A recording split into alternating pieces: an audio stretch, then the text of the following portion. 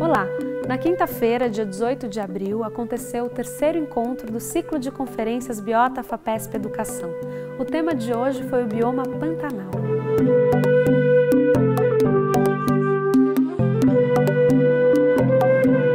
Professor Arnildo Potti falou sobre a origem, a evolução e a diversidade da vegetação do bioma, destacando os contrastes fitogeográficos resultantes das suas interações com a Amazônia, o Cerrado e encraves da Mata Atlântica.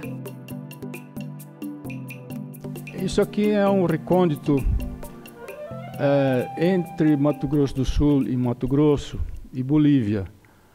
É o fim do mundo, ou o começo, depende do ponto de vista. Esse é o, vamos dizer, o padrão mais conhecido das pessoas, pelas pessoas de paisagem do Pantanal. Mas a maior parte do Pantanal não tem água permanente, não tem lagoas e nem cordilheiras. Para conhecer um pouco, teria que andar é, para ver vários pontos de vista, né, de imagem de satélite, de avião, a, a, cavalo, de carro, a pé, de joelhos e mergulhar ou cavar também. Isso aqui eu diria que é um. Se eu fosse escolher uma fotografia do que, que é o Pantanal, eu escolheria essa. Então, quem são as espécies lá? São sobreviventes a todos esses extremos.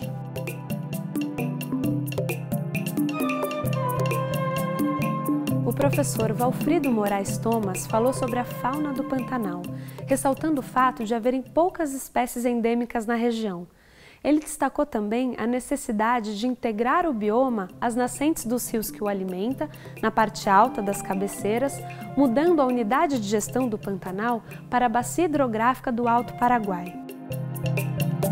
Pantanal, na verdade, é uma planície inundável que no Brasil ocupa cerca de 140 mil quilômetros quadrados, que dá mais ou menos dois terços do estado de São Paulo, ou seja, uma área bastante grande. Né?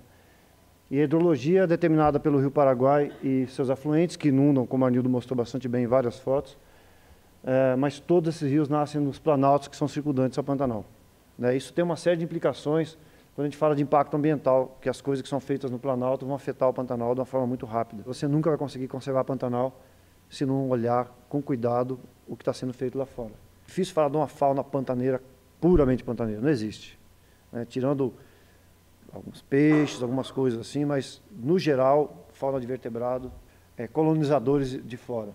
O que marca o Pantanal é a abundância de população. Né? Um ambiente inundável e com essa sazonalidade, ele é altamente produtivo em termos de produtividade primária e secundária, aí vai, isso suporta uma abundância de, de fauna. Então, toda vez que vocês veem uma foto do Pantanal, por exemplo, foto de aves, milhares de garças, centenas de tuiuius, com peixe a mesma coisa, com mamíferos, boa parte dos mamíferos a mesma coisa. O Pantanal é o grande reduto de muitas espécies ameaçadas, como cervo, onça-pintada, ariranha, no Pantanal, a pecuária, que eu queria falar um pouquinho mais, porque ela é a atividade que é sistêmica no Pantanal inteiro, então ela é que realmente pode ter algum impacto de escala regional. Até agora não tem nenhuma espécie que a gente pode dizer essa espécie foi chegada, foi para a lista de ameaçado está à beira de ameaça por causa da pecuária. Como o Arnildo falou, o boi pode ter entrado e ocupado o nicho da megafauna extinta há 12 mil anos atrás, como aqueles cavalos, aqueles herbívoros de grande porte. São pastagens de excelente qualidade, com alto teor de proteína, alta digestibilidade, tudo tem de bom. Muito melhor que a tal da braquiária. Né? Só que nós estamos vendo é isso agora. Está havendo uma tendência de intensificação de você plantar pasto cultivado com braquiária, uma paisagem que era assim complexa, ela vai ficando mais uniformizada. É óbvio que você perde complexidade da paisagem, você está perdendo diversidade biológica. Então, o que, que se faz com o Pantanal? Como é que nós vamos manejar uma savana dessa com boi em cima e, e unidade de conservação a mesma coisa? eliminando o fogo com boa parte das áreas protegidas fazem. A nossa reserva foi um experimento extremamente importante, porque, como o Arnildo falou, a gente entendeu o que, que é você separar, tirar o gado e cercar uma área numa savana, como o Pantanal é uma savana, inundável, mas é uma savana, e eliminar o fogo lá de dentro. Se eliminando o fogo, eliminando o gado, quando vem um incêndio, torra tudo que tiver até uma profundidade grande no solo. A gente está investindo muito lá no Embrapa Pantanal com essa estratégia de remuneração, desoneração, certificação e práticas adequadas para a gestão de fazendas que conservam a paisagem. Esses caras têm que ser premiados de uma forma que compense é, o fato deles não estarem intensificando a produção através de implantar pastagem em escala maior. Então alguém tem que pagar para quem está conservando o Pantanal. Esse é o nosso ponto de vista.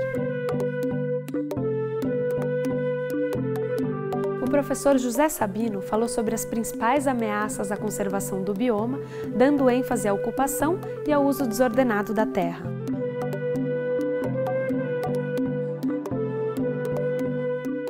Essas ameaças elas não estão restrita, restritas à própria planície pantaneira, mas sim é, sob forte influência das serras que circundam esse bioma. Essa foto para mim é muito emblemática assim desse tipo de ocupação. São as nascentes do Paraguai na parte mais alta é, do sistema, mostrando então o tipo de ocupação. Né? É, isso aqui certamente é uma área de recarga de água. Né? e a soja chegando às margens realmente do, dos ambientes, mostrando que não houve nenhum regramento, nenhum tipo de cuidado, nenhum tipo de zelo. Né? E essa, essa ocupação desordenada gerou, então, muitos impactos, e talvez o mais emblemático de todos eles, o mais dramático também, é a do leque aluvial do rio Taquari, que é, então, uma planície na região central, e que o rio passou por um processo geológico chamado de arrombados. Essa área está perenemente submersa e isso inviabilizou, gerou uma série de, de problemas, é?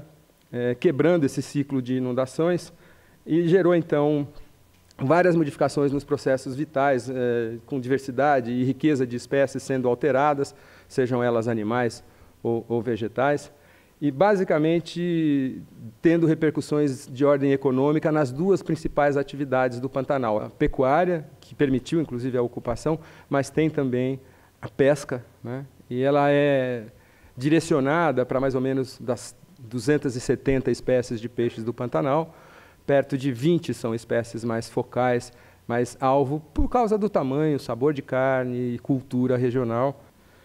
E aí uma pergunta, né? Será a pesca no Pantanal uma atividade sustentável? Que tipo de impacto ela causa? Um dos grandes impactos hoje é que é, cercam e ameaçam a integridade do bioma Pantanal é a construção das é, desse conjunto de hidrelétricas. É muito provável que impacte né, a hidrologia e o próprio funcionamento do, dos sistemas de recarga e de, é, de fluidez de águas para o sistema é, Planalto-Planície. Um caso clássico desses que a gente pode listar aqui é a migração reprodutiva dos peixes, conhecida como piracema.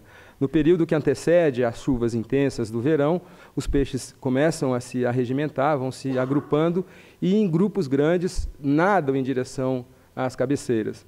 É, se você tem esse, essas cabeceiras é, interrompidas por um processo ou por uma, um obstáculo físico, como de uma hidrelétrica, esse processo é perdido.